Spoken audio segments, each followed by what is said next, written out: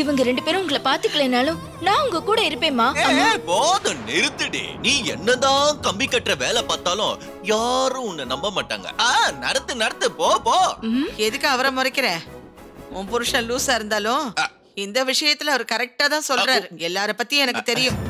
கூட்டிட்டு கிரிஜா. வாங்கம்மா. உனக்கு இருக்கியா?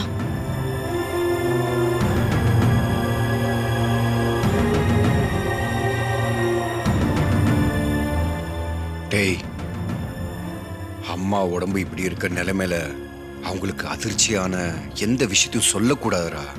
அண்ணே நான் இப்ப எதுவுமே பண்ணலையானே